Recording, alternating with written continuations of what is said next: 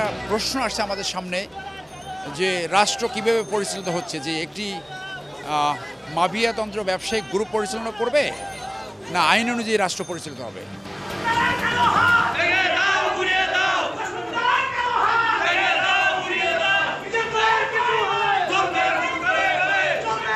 রূপগঞ্জ উপজেলা পরিষদের vice chairman Mizanur Rahman মিজানের পক্ষে আদালত চত্বরে বুধবার এভাবেই স্লোগান দেন সাধারণ মানুষ।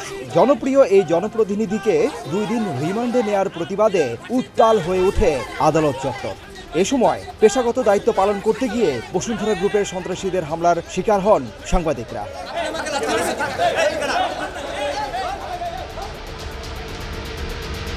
মামলাকারী বসুন্ধরা গ্রুপেই সবকিছু নিয়ন্ত্রণ করছে বলে মনে করেন বাদীর আইনজীবী। তিনি বলেন, এই গ্রুপকে নিয়ন্ত্রণ করাই অন্তর্বর্তী সরকারের বড় চ্যালেঞ্জ।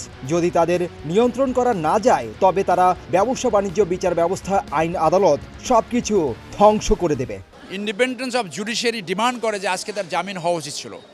এবং এই মামলা রিমান্ডের কিছুই নাই।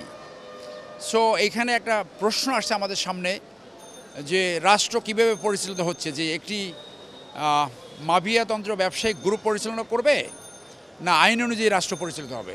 জনপ্রতিনিধি মিজানের পক্ষে যখন সরব আদালত পাড়া তখন জাতীয় প্রেস ক্লাবের সামনে তার বিরুদ্ধে কিছু মানুষকে দাঁড় করিয়ে দেয় ভূমিদস্যু মাফিয়া গ্রুপ বসুন্ধরা। ভাড়া করে নিয়ে আসা হয় এইসব মানুষকে।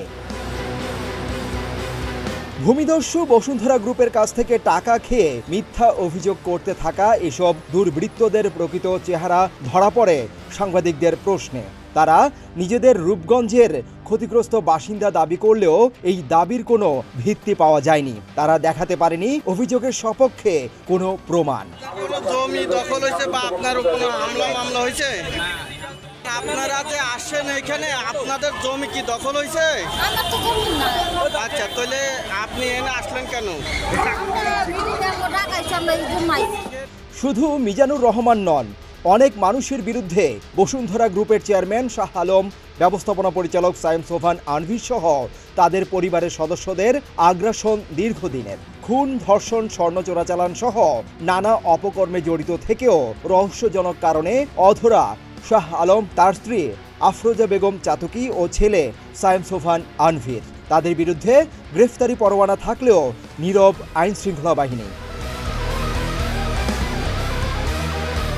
এর আগে কলেজ ছাত্রী মোশারত জাহান মুনিয়া হত্যার ঘটনা ধামাচাপা দিতে ও মূল আসামি আনভিরকে বাঁচাতে ভাড়াটে লোকদের দিয়ে সংবাদ সম্মেলন করে বসুন্ধরা গ্রুপ। পরে সাংবাদিকদের প্রশ্নের মুখে পালিয়ে যায় তারা। গেল মঙ্গলবার মিজানুর রহমান মিজানকে মিথ্যা অভিযোগে গ্রেফতার করে পুলিশ। ডেস্ক রিপোর্ট প্রতিদিনের বাংলাদেশ।